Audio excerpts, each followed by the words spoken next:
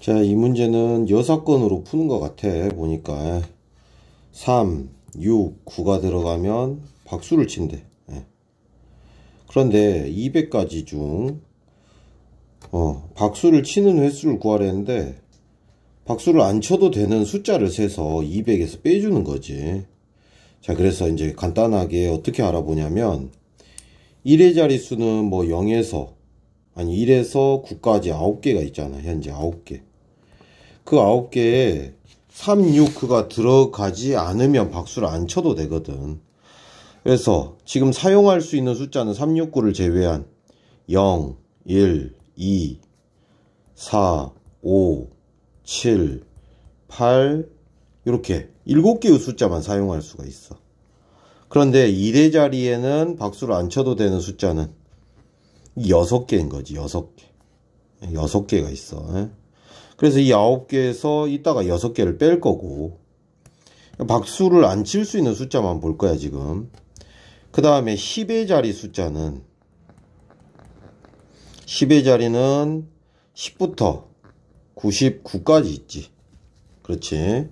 그럼 이 90개의 숫자에서 박수를 안 쳐도 되는 숫자는 여기 있는 이 숫자들만 사용해서 만들 수 있는 10의 자리 숫자거든 그러니까 몇 가지겠어? 10의 자리에는 0이 올 수 없으니까 여기는 6가지 방법이 있고 여기는 7가지 방법이 있지. 그래서 6 곱하기 7이 돼서 42개를 또 찾았어.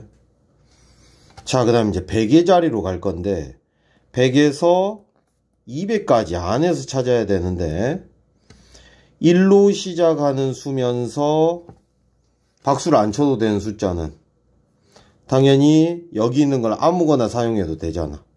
그러면 7파이 2니까 49개가 되겠지. 그리고 끝에 있는 200, 또 박수를 안 쳐도 돼. 한 개 더 있어.